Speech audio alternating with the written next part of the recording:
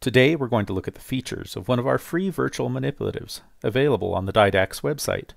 You'll find a link to these tools right on our homepage, as well as some free activities that use the manipulatives. Let's see how the two-color counters work. From the Virtual Manipulatives page, I click on the two-color counter button. This launches the tool in a new window.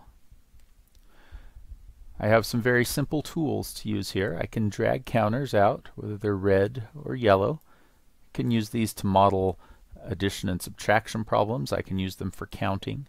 You'll see as I pull them out, they snap into place in a nice grid to help keep things organized and neat.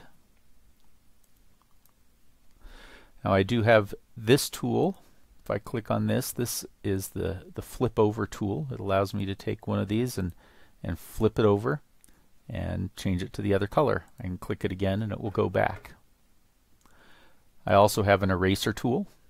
Click on the eraser and then click on individual counters and it will erase them one at a time.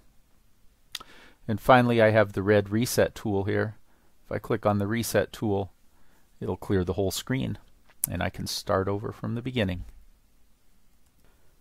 Thanks for watching. And remember that you can access all our free virtual manipulatives on our website, www.didax.com.